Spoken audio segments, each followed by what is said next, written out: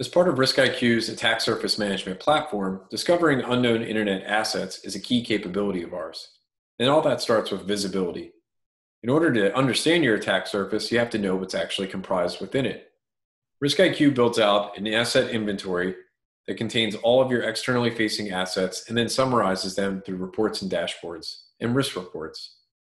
Here, we're looking at the attack surface for an example company, in this case, the Department of Treasury, and all the different assets they have and how they've changed over the past 30 days. Immediately, we're able to understand the different types of technologies that are being applied across this attack surface and quickly summarize it. If we think about discovering unknown internet assets and the problems we're looking to solve, we can use this data to extend our vulnerability risk program by understanding what assets we might be missing today. Not all businesses understand all the assets that they own. Additionally, we could start to find and eliminate threats and exposures by looking at different targeted technologies or CVSS scores, or even simple things like risk that's been exposed through documents. Finally, as we think about secure cloud adoption and IoT expansion, we can use reports and dashboards and the data that we have available to understand the distribution of different cloud providers, from the major providers such as Amazon, Google, and Microsoft, all the way down to different hosting platforms as well.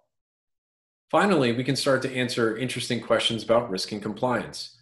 Security hygiene is often overlooked, but it plays a critical role in attack surface management. Very quickly, we can understand administrative pages, login pages, deprecated technology, broken redirects, expired SSL certificates, and even more. And what's nice about having an inventory available to you is that you can build reports and summaries like this, but you can also dive into the actual detail as well.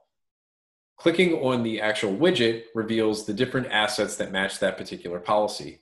In this particular case, I'm looking for anything that has remote access that's been approved within our inventory.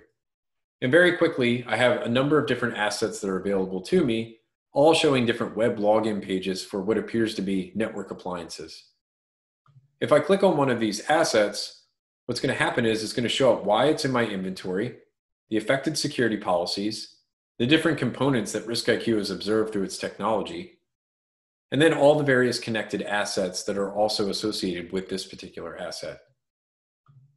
If I wanted, I could view the full details, which includes metadata that I can manipulate and change, and also other more in-breadth details about the history of this particular asset. This becomes helpful information when we want to integrate into a third-party system or simply just understand who owns it. If we go back to our inventory, another way in which we might want to report on this information is through a risk report. Bringing up the risk report here allows us to segment by asset priority, organization, brand, or even just the report date.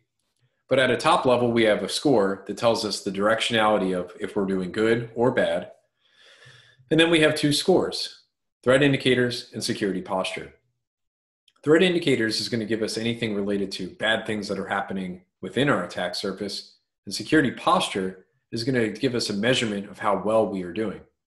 So if we wanted to, we could go into this low scoring area in security posture and investigate why we might be performing scorely. In this particular case, we can look for an insecure login form where there's 33 affected websites that impact this.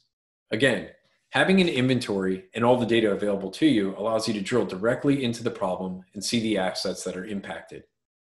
This saves you time and valuable resources because now you know everything's in one spot. With RiskIQ's digital footprint, you can discover unknown internet assets, therefore extending your vulnerability risk program, finding and eliminating threats and exposures, and securing your cloud and IoT expansion efforts.